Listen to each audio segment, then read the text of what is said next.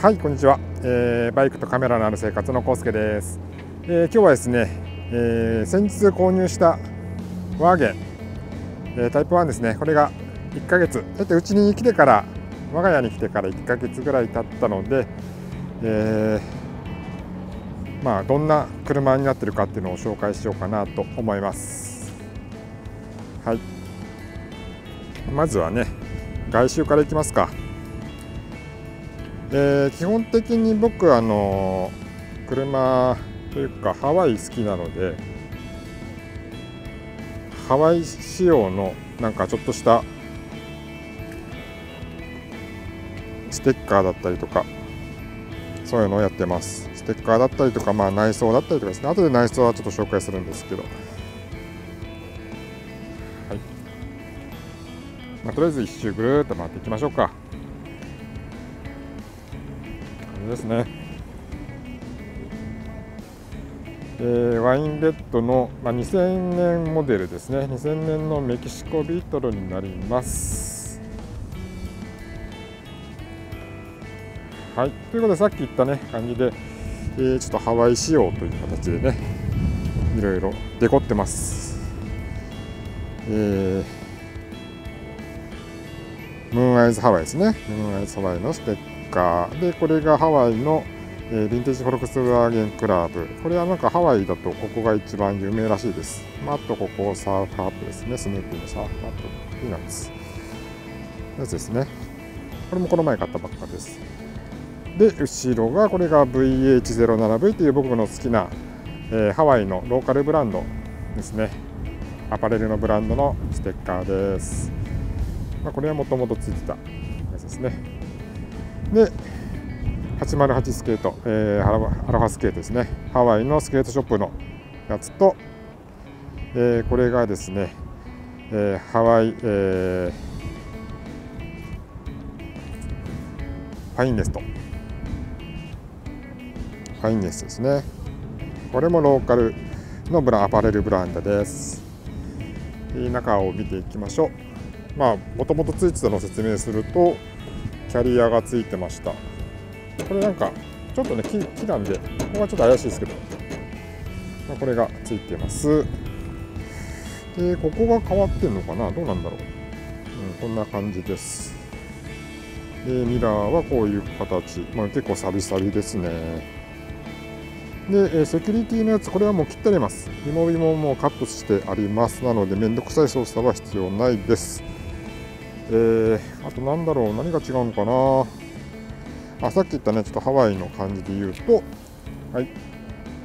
でもナンバーいっちゃいます。えっとこれハワイの州ナンバーです。さっきからステッカーとかにもあると思うんですけどハワイの州ナンバーをナンバーにしてます。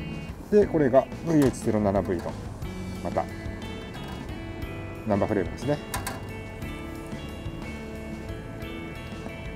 はい。でここ。パーミットダイヤモンドヘッドのパーミット。ですね。パーミットのやつをちょっと今ぶら下げてます。はい。じゃあちょっと中を見てみましょう。はい。こんな感じでね、えー、こんな感じの色になってます。でロックもこの木目のやつになっててハンドアハンド。これもねこういう形になってます。であと中のはいこんな感じですね。もともとのやつからこれ多分フラット交差のやつなのかな。シートカバーになるのかこのまま張り替えされてます。えー、何色なのかなベージュなのかなグレーなのかちょっとなんとなくそんな感じの色です。後ろも変わってますね。はいこんな感じです。いいっすよねこの内装。きなんですよこういうあの明るい内装がね上とかも、まあ、そんなにね下手ってない感じです。まあまあまだ2000年のやつなんでねこんな感じだと思います。えー、っとあと変わってたのはハンドルがこのクラシックタイプのやつに変わってました。いいっすよねこの細いの。可愛いいです。であとここもですね。これもあの多分これセットだと思うんですよねこのこれのやつと。セットのやつで変わってました。木目のやつですね。でえーと、ここにはこういう入れ物というかになるやつがついてました。これもまあまあ便利です。でシフトはもともとついてですから先日シフターこれファーストタイプのやつに変えました。あくまでタイプです。はい。あのバッグ入れるときこっち楽だなと思ってこれに変えました。はい。えーとあとちょっとつながってるのはえっ、ー、とエアこれエアコンついてます。エアコンついてます。ついてるんですけどエアコンをつけたまま走ってたらエンジン止まっちゃいました。ちょっと原因わかんないんですけど前のオーナーさんもまあ乗って5分ぐらいで引かなくなるとか言ってたんで、はい、全然使ってないと言ってました。まあまあ多分僕もょっとエンジン止まっちゃうの怖いんでもう使わないと思います。はい。えーとオーディオはカロッツェリアがついてました。でこれえっ、ー、と配線持ってきてえっ、ー、と一応、ね、iPhone から充電 iPhone 充電できるようにしてきてて音楽も iPhone の中の曲が聴けます。って感じですね。ではよくあるリトルツリーも作ってます。はいあとは、えー、飾りで言うとこれこんなのをつけてます。これねワイヤルアソーダワークスって言ってあのハワイのね、えー、ところであったソーダの王冠です。王冠にマグネットつけて1ドル札をちょっと貼っつけてます。まあ、ちょっといいかなと思って、うん、でこのソーダワークスの多分これもうないのかな。なんかもう製造終わっちゃってるのかもしれないですよね。最近見てないんで。はい。あと変わってた。というかもともとその前のオーナーさんがつけてたのが、えー、ウーファー。ここに後ろにウーファーが積んであります。このちっちゃいやつ。見えるかな。これ。ですね。なので後ろの席が一席潰れてる感じです。で後ろにはこういう感じではい。スピーカーをつけてます。ホステックスですね。ホステックスのスピーカーが積んであります。あとツイッターなのかなこれ。つながってますね、えー、なんとなくいろんな綿をここに入れてまあこのこれをボックス代わりっていう形で多分やってるんでしょうね。ここ閉まってないってことは。こんな感じで。配線されてます。なのでねちょっとこれがついてるんでねちゃんとガチャンっていかないんですよねこれ。ちょっとゆるゆるなんですよ、うん、なのでちょっとな乗るとき乗ってる方は後ろに乗る方はちょっと不便かもしれないんですけども、ね、これ多分どっかでこれ多分このカバーの裏にあるのかなこれが。取るやつが、ね、引っ掛けちゃうと多分あんまり見てないんであれなんですけど。はいそんな感じです。でまあ一応スピーカーケングとここも入ってますね。横ケンと入ってます。これ音鳴るのかな？後ろ。多分もしかしたらこの上ここだけ鳴ってるかもしれないです。で前は、えー、一応スピーカーついてるんですけどこれはもう切れてます。はいでツイッターついてます。ツイッターはつけなんか聞こえるような聞こえないようなそんな感じですね。はいそんな感じです。で、まあ、2000年とはいえね、いろいろちょっと肩も来てる車なんですけども、まあ、とりあえず、うん、シートはもうガタガタですね、これは。しょうがない。一応、フロアマットも変わってます。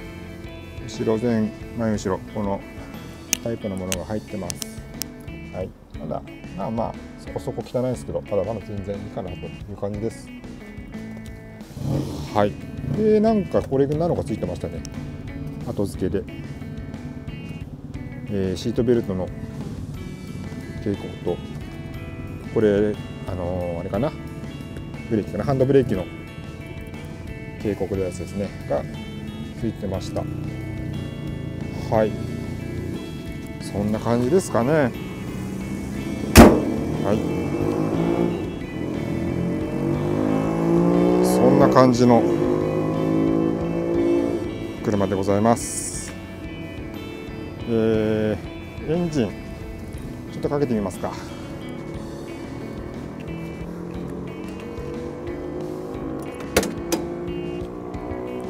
いしょ。ね。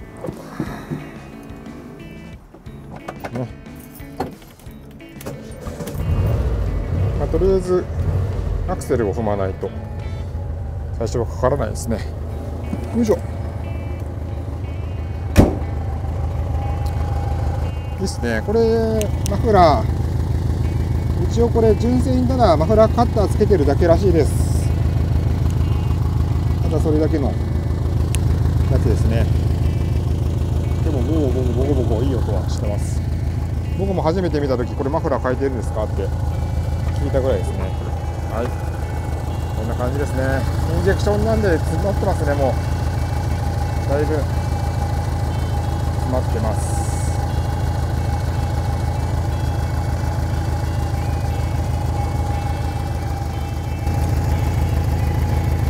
アクセル踏んできて。ちょっとここ持ってて、えー、ちょっとアクセル踏んでみますね。